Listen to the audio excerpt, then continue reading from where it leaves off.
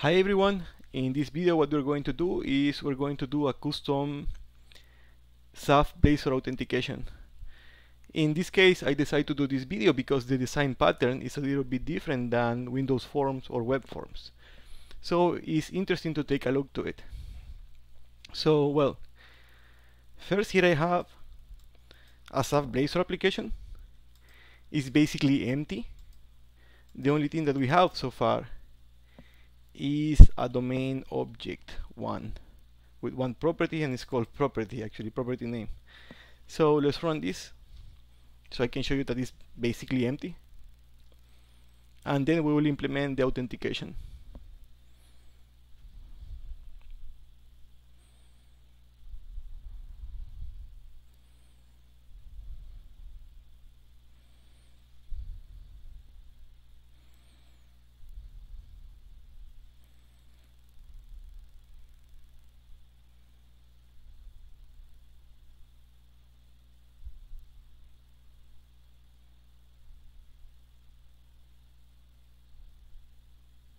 now it's creating the database. That's why it's taking so long. It's the first time I run this application. So let's do admin. And that's it. So let's start. First what you will do in any other application I mean XAF application you will go to the application and then change um, the security system to change the logon parameters and the authentication. But in this case I'm going to do something a little bit different. So first for Blazor what we need to do is to add I think it's an authentication provider. I have notes here about that.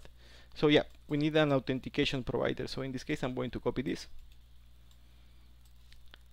and come to this Blazor application and add a new class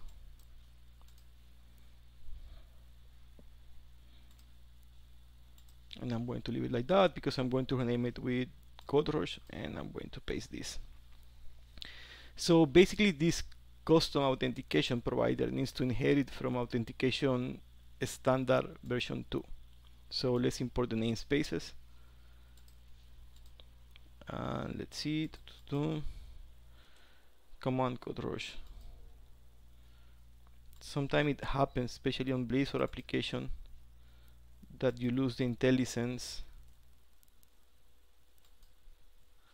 and the autocomplete. Let's rebuild maybe. Maybe we get it back.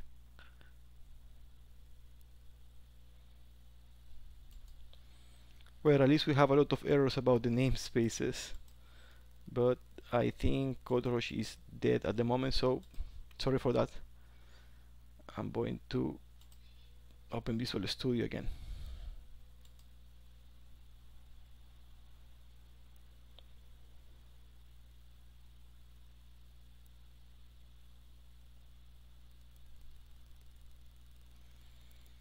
and let's see I hope it's working now.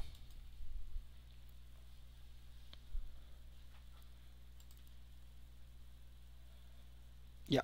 So let's import the namespaces.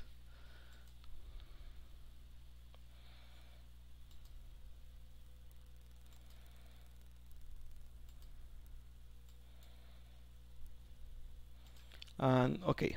Basically the authentication provider needs to return on the create authentication method a class that represents the authentication. So for that we will create a new class. I mean I have that here also.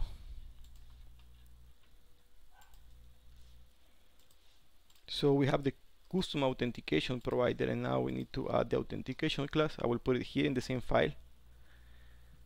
So basically in this case we're not going to use a custom logon parameters we're going to use the default logon parameters. So just let's import the namespaces here.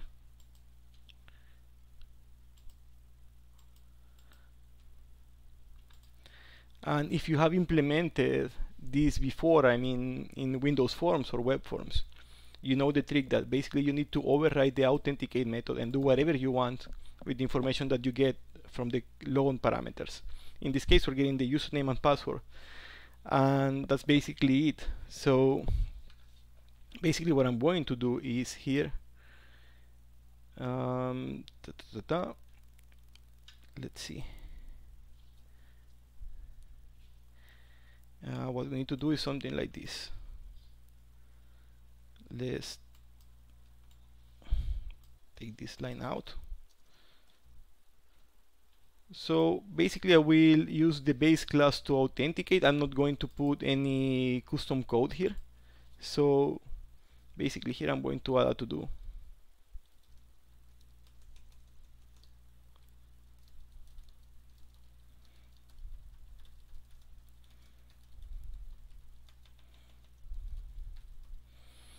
okay and if basically this is null that means that there is there was an error I mean you were not able to authenticate. So what I'm going to do is check if this is null. Then I'm going to throw an authentication error.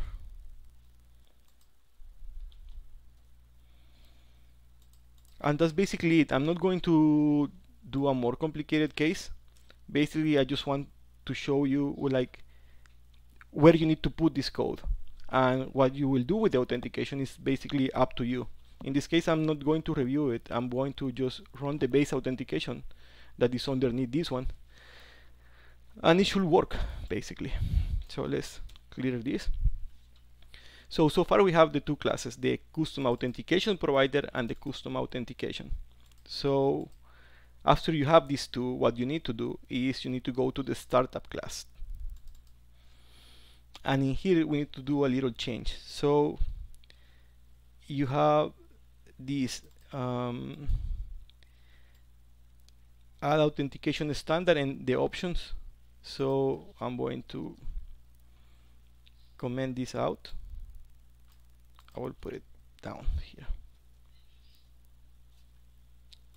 and you need to do something here um, a little piece of code so basically that is this code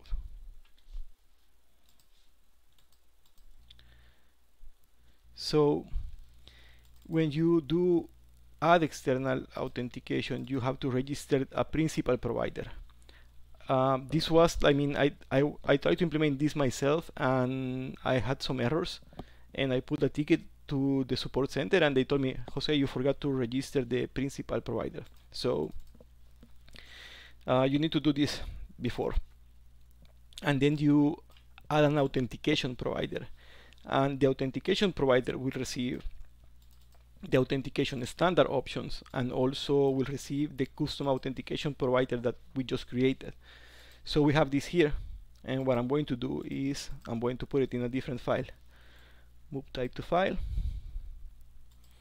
and then I'm going to come here and the custom authentication I'm going to rename it rename file to match the type and good we have it. So we have the custom authentication we have the authentication provider and also we register these on the startup class.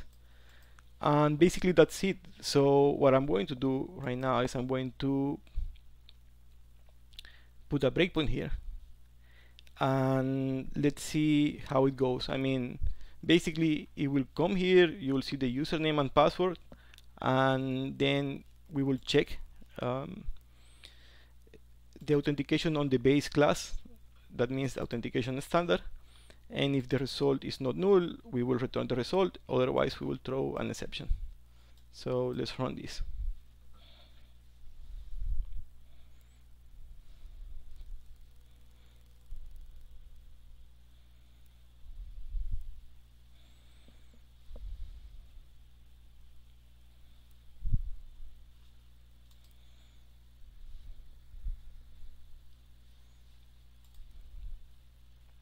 okay so let's do admin. And as you can see we're here already so let's do step by step. So see the user is admin the password is null and we will run the authentication of the base class in this case. And it didn't work. Uh, so what they're going to do here? I'm going to do is I'm going to comment this out and I'm going to do what you see in the example from Developer Express. I will do a bar, well, this will be the result also. Equals object space, find object, and this will be permission policy user.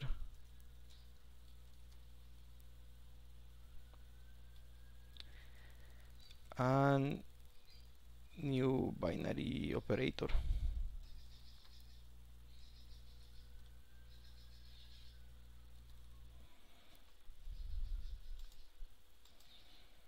And it's going to be like this.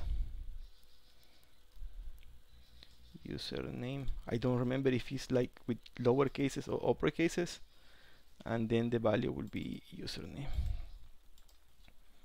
so let me oh, so I don't need to do this. Okay so let me check if username is with lower or upper cases.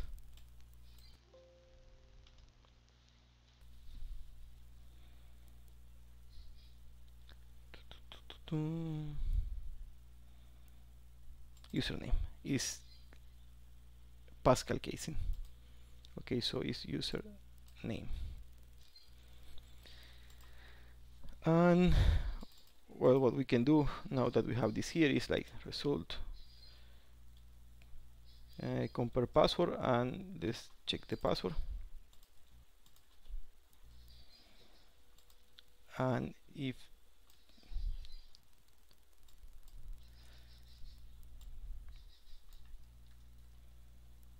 if this return false then we will throw deception. Otherwise we will return the, the user. So let's try to run this again. I guess you hear some birds in the background. At the moment I'm in El Salvador at my family home. So we have a lot of birds here in El Salvador basically. Uh, ta -ta -ta okay this is null. So okay let's continue. This is the demo effect. Okay so here let's do admin. And now we're going here. And to, to username password is null. Then we check for the user. We have the user. Then we compare the passwords and then we return the result. And with that I, I will be able to log in. Um, basically the idea here is that in this authenticate method you can implement it as you want. So you can go to a web service to your active directory to do whatever you want. So you just need to override that and verify the parameters that come from the logon parameters. So um, that's basically it for from this video. Uh, what I wanted to show you is that the pattern is a little bit different and here you need to do do it in the startup and you need to make sure that you have these lines set up in the right way. So I will put this example in GitHub and well maybe I will change some lines or something to make it more clear or maybe do a documentation that okay remove this and add this um, but the code is like self-explanatory. Basically you just need to add the custom authentication provider and the provider should return a custom authentication class. And in the class you just need to override the authenticate method. So that's it for this video guys. So take care and see you guys in the next video. Bye